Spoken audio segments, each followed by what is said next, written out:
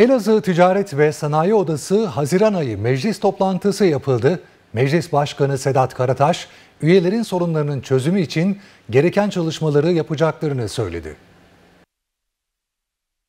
Elazığ Ticaret ve Sanayi Odası Haziran ayı meclis toplantısı Sedat Karataş'ın başkanlığında yapıldı. Toplantıya ETSO Başkanı İdris Alan da katıldı. Toplantıda konuşan ESO Meclis Başkanı Sedat Karataş, Cumhurbaşkanı Recep Tayyip Erdoğan'ın yeniden Cumhurbaşkanı seçilmesiyle Türkiye'nin genel seçimlere kadar yol haritasının belli olduğunu söyledi. ETSO Meclis Başkanı Sedat Karataş, Rifat Hisarcıklıoğlu'nun yeniden TOP Başkanlığına, ETSO Başkanı İdris Alan'ın da TOP Genel İdare Kurulu üyeliğine seçildiğini anımsattı. Karataş Başkan Alan'ın seçilmesiyle bu temsil gücü hepimizi gururlandırdı dedi.